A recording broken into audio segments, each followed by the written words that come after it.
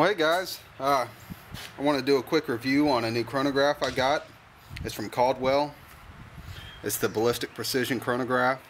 Um, there, there's not a lot of uh, reviews and stuff out on the internet for this, and you know, there's a, a lot of uh, chronographs out there that are tried and true, but I went ahead and took a chance on this. Um, I think the, the whole package for everything you see here was around $120 on Midway. So good deal. Hey guys, so uh, my camera at the range kind of junked out on me as I was uh, trying to do an initial review of this uh, Caldwell chronograph, uh, ballistic precision chronograph. Uh, just real quick, let's go over. Comes in a nice bag. Once you get the the deluxe kit, uh, there is a, a, kit where it just comes with just the chronograph, uh, the sunshades, things like that. But this actually comes with with sunshades. Came with a tripod that you can mount the chronograph on, which is nice. Got the tripod mount on here. Um, tripod, basic uh, feet per second, meters per second, and then you've got a USB jack and an audio jack here that go actually goes to the audio jack of your smartphone or uh, you know iPhone or Android phone.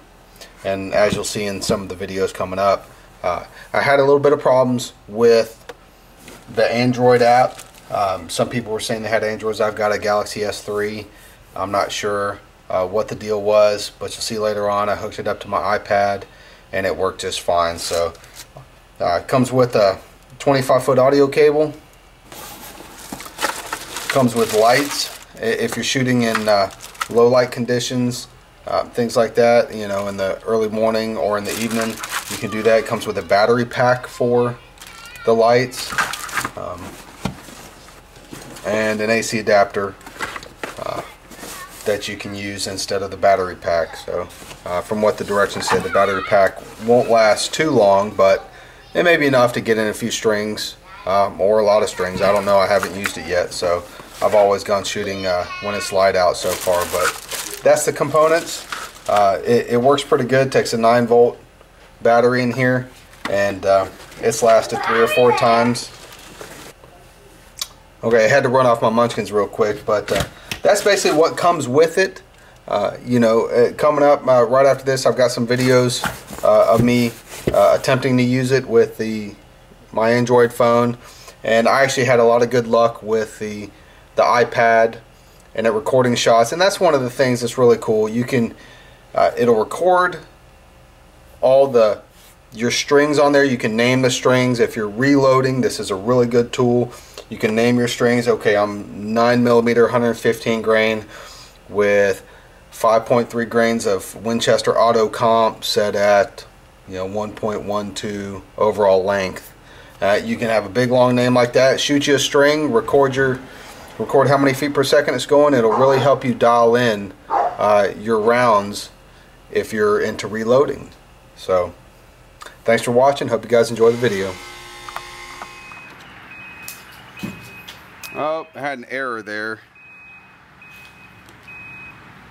But as you can see for the most part uh, it, it's capturing those those shots.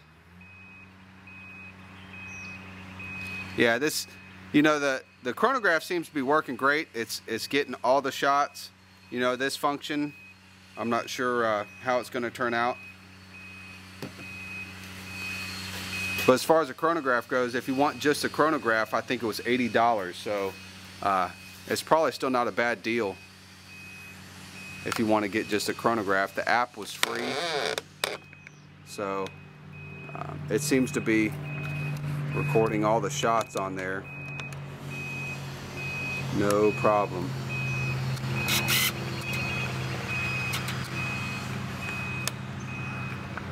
Hey guys, just a little update on my uh, Caldwell Ballistic Precision Chronograph I got. Uh, it doesn't have any of the features of uh, memory and all that stuff in it, but what it does have is the ability to go to an Android or Apple device through a uh, headphone along audio cable. You come over here, you'll see. I just shot a five groups with uh, some 124 grain Ogden hollow points. And it worked really well on the iPad. It, uh, it functioned just fine. I can't get the seem to get it to work on my Galaxy S3